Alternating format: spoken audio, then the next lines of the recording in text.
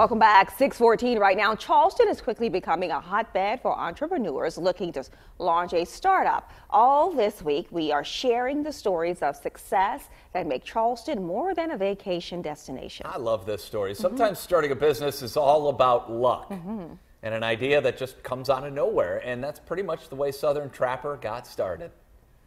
Dane Bly never had interest in working with leather. He was an investment banker, having studied economics at the College of Charleston. But his life changed course when he decided to become a mentor for a young boy. Southern Trapper was born because um, an elementary school student and I, through Be a Mentor, he, um, we decided that we'd like to sit down and, and make a wallet. Which Andy, his mentee, turned around and sold for $1 so that he could get a Snickers bar from the vending machine. So Bly launched Southern Trapper by using material that would otherwise be scrapped in the leather world. Here's one of them. Beaver tails. And then I found out that no one wanted beaver tail wallets. There wasn't a market for it. But like every story we've heard from a successful entrepreneur, Bly didn't give up on the idea. He just improved it so that his target market would be interested. Well, I decided that maybe if we made it bullet resistant and fire resistant and RFID blocking, that would intrigue our target audience and allow us to hold their attention. It worked. And now Bly employs five different master leathermen, four of them here in the low country. He also has one in Missouri. He added to his sales force as well and his raw materials, not only using beaver tail, but alligator, snakes, and more.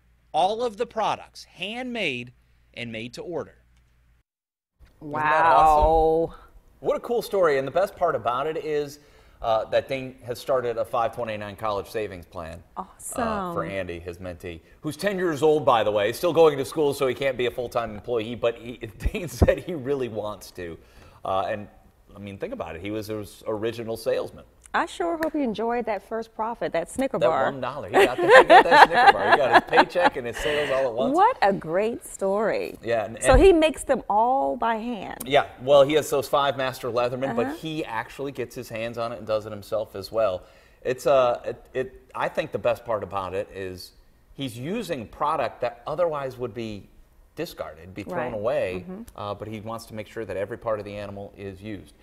He went through the Harbor Accelerator, which is a program we're going to talk about tomorrow that teaches entrepreneurs the ins and outs of being successful and navigating the startup world and getting yourself ready to pitch to those investors who are the ones who get you going and send you on your way. Charleston is the place to be. I'm telling you, it's mm -hmm. it's it's a good spot if yes, you want to have is. a startup. Certainly.